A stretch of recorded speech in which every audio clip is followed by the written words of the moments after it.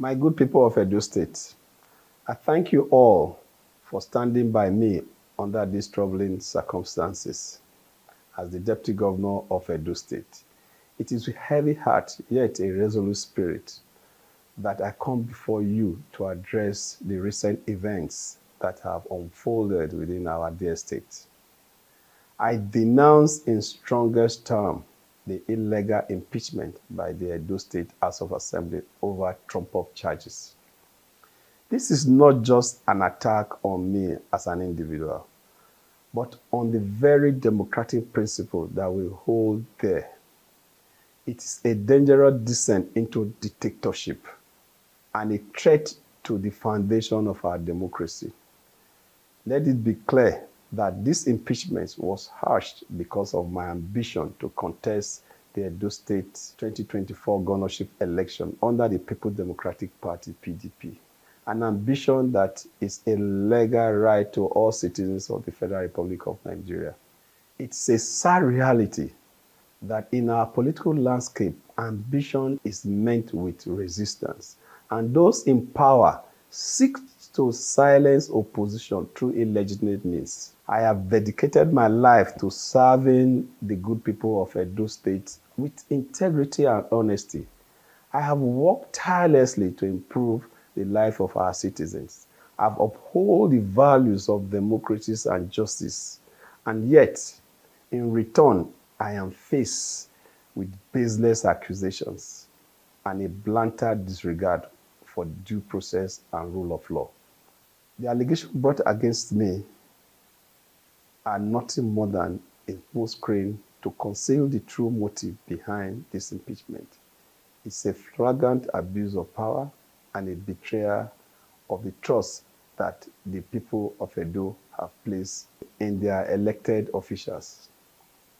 We refuse to stay inactive while our democratic institutions manipulate and exploit for personal gain.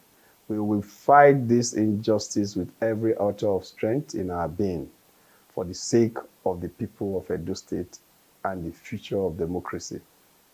I call upon all well-meaning citizens of Edo, and indeed all Nigerians who believe in the principle of democracy and justice to stand with us in this moment of crisis. We cannot allow tyranny and oppression to take roots in our society, we must resist the forces that seek to undermine our freedom and trample upon our rights.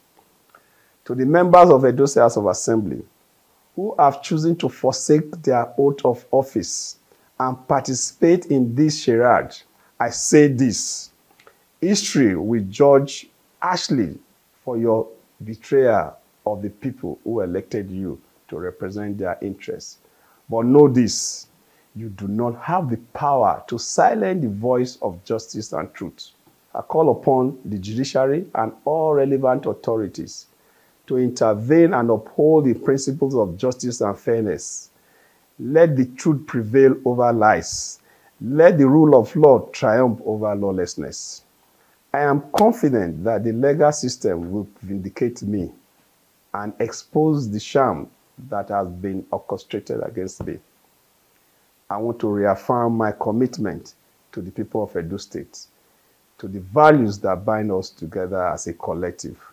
I will not be deterred or intimidated by those who seek to subvert our democracy. I will continue to fight for the right and freedom of all Edolites, by extension Nigerians that suffer oppression. I will stand firm in my resolve to see justice done as we stand united in the face of tyranny and oppression, I urge all to remain calm and go about our lawful duties as good citizens and true democrats. Together, we will overcome this dark chapter in our history and emerge stronger and more resolute in our pursuit of freedom and just society. Thank you for the opportunity given me thus far. God bless Edo State and God bless the Federal Republic of Nigeria. I remain Comrade Philip Shaibu.